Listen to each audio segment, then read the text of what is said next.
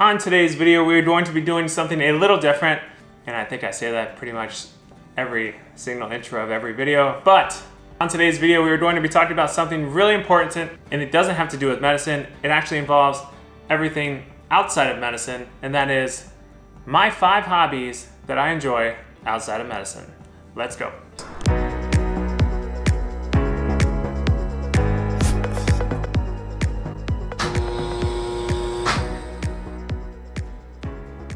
So the first hobby I have outside of medicine is investing in stocks. May not be something you thought I was gonna say. But this all started back in my intern year. I remember we used to have a TV in the lounge of my intern year, and then I would watch CNBC most of the day. It would have a ticker at the bottom of the screen. They would be talking about stocks all day long. So in between writing orders and any downtime we had, I would just sit there and watch what's happening in the stock market. And I guess it kind of triggered some business-esque mindset that I used to have in college because, as you all know, I majored in economics in undergrad, not medicine, as some of you may think. I went back to school for medicine, but that's besides the point. I majored in economics and I've always enjoyed business. So I had no idea at the time how to invest in stocks or really what to do, but I figured, you know, I'm a doctor. So many people out there invest in stocks. I could probably figure it out, right? So that's what I did. So like anything in medicine, you do a little research, you start dabbling a little bit here and there, and next thing you know, you're putting out some trades. But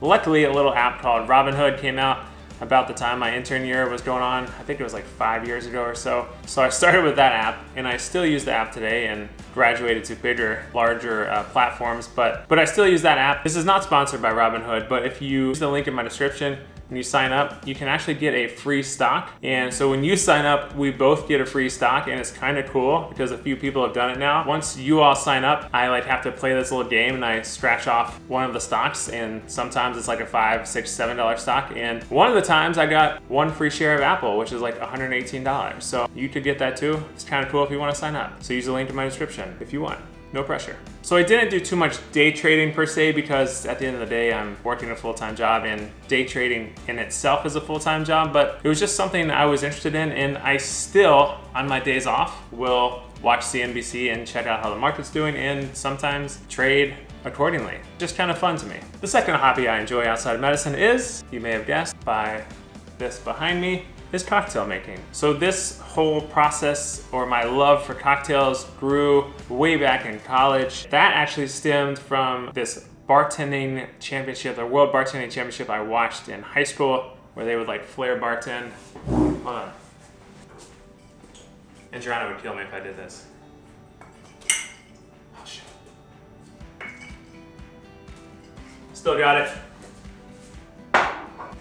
So they used to flip bottles around like that, and I really got enthralled with it for some reason. Started working at a country club as a bartender, and then when I went to college, I ended up bartending there as well, which I think I talked about this on one of my bartending videos that I put on my channel, link up here. So I started in college just pouring the usual college drink, whiskey and coke, rum and coke, vodka soda, margarita, that kind of stuff. And then as my palate matured along with me, I've started enjoying other cocktails and kind of refined cocktails and or expensive cocktails, if you will. And when I moved to New York five plus years ago, originally for intern year, I started exploring all the cocktail bars here and it's become kind of this like phenomena that everybody has to have good cocktails now and it's cool. I mean, it's like cooking, you know, it's like making a good steak. No two cocktails are the same and everybody has their unique way of doing it and kind of cool to explore and try out. So that hobby has grown into what it is now. So now I will also go to restaurants and try out their like cocktail making classes and see what they kind of do and try different recipes, try different liquors, try different gins, which is my new thing. I like Negronis a lot. And also I'm a huge fan of bourbon, which you saw in my last video. I really appreciate the history behind the bourbon and it all stems from these like long traditions a hundred or so years ago. And it's kind of cool. So I like the history aspect of it, but also I enjoy the cocktail. So it's fun. The only way I can describe it is like cooking making cocktails and cooking.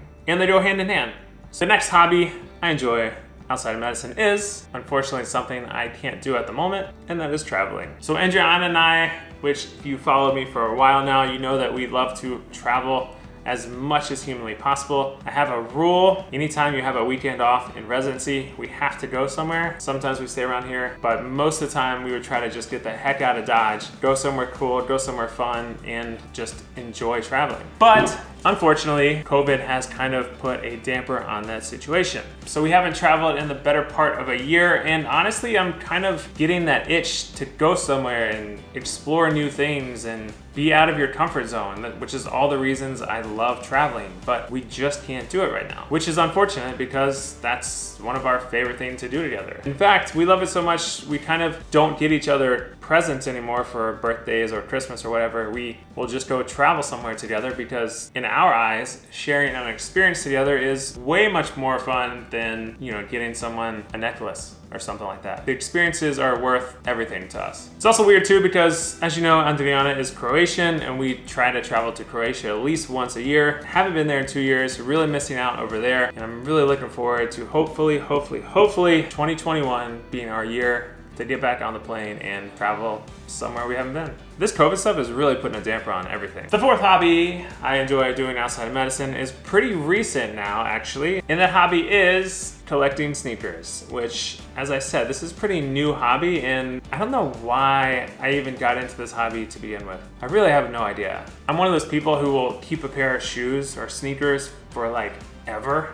I take really good care of them. I keep them clean. I wash them multiple times and I never get a new pair. But then the more I got into fashion, the more I started going places and the more I started doing things, you kind of need a sneaker for like every occasion. So I just started getting new sneakers. And then I realized that there's a lot of value in certain limited release sneakers. So I started doing my research as usual, looking online, watching a ton of YouTube videos, and then I started investing in sneakers. And there are some sneakers I've bought and won raffles too, in which they're like a hundred bucks, and you resell them for like a thousand bucks, which is crazy, right? Like who, who pays a thousand dollars for a Nike sneaker? It's it's unbelievable to me. I actually thought it was a joke the first time I started researching this, but I did it myself and now I've probably sold a few like Travis Scott sneakers and a few Yeezys and a few limited release off-whites and stuff. Crazy. Crazy how you can make a profit on this stuff. But in the meantime, it's not just about this reselling for me.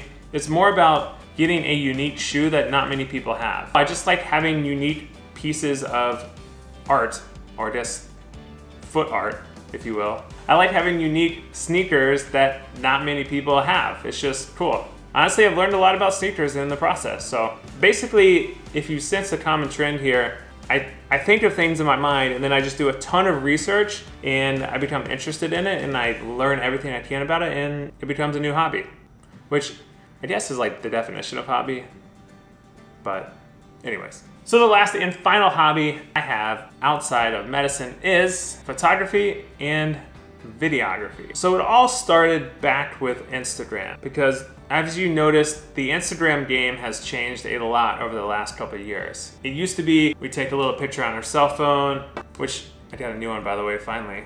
Take a little picture on your cell phone, post it to your story, post it to your Instagram page, no big deal. Throw some terrible filter on it, and people are like, oh, great photo. But now it's like all these photographers are using these super high end, multi thousand dollar cameras, posting insanely high definition Instagram pics and of, of crazy locations. If you're not on that caliber, people just don't want to look at it anymore. It's crazy. Everybody has become this crazy photo critic. Honestly, like I said before, I saw these nice nice photos and I was like, hmm, I wonder if I can take those nice photos. So I bought a camera, started learning how to use manual cameras and how to shoot manually, adjusting the aperture, the shutter, the ISO, all that stuff. And it's a lot harder than it looks, I will say, but like anything, more practice you do, the better you become at it. And some of my photos I've taken way back in the day are absolutely atrocious. And then I made the jump from Instagram to YouTube, which is a whole nother ball game because video editing is like way over my head. I feel like it's a lot more complicated than just a still picture. Well, it is more complicated, but video videography and